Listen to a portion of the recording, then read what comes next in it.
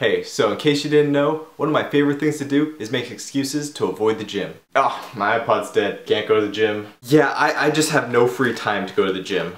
I used the Wii today, it's pretty much a workout. So for this reason, I thought it'd be fun to make a video on 10 excuses that people typically make to avoid going to the gym. So let's get started. After New Year's, I'm getting a gym membership. It's the holidays, you're allowed to let yourself go. You really don't need to start working out until beach season. The only gym membership I need is my bedroom. I walked up the stairs today at work, that counts as a workout. For lunch today, I had a salad, so I don't have to go to the gym. Ah, it's too early to go to the gym. Yeah, it's getting kinda late to go to the gym.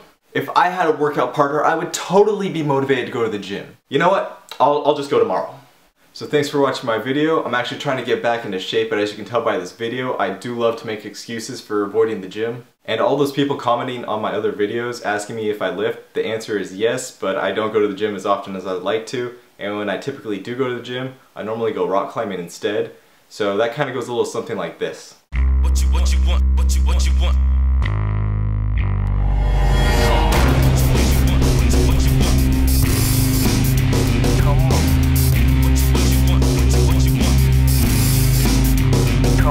come.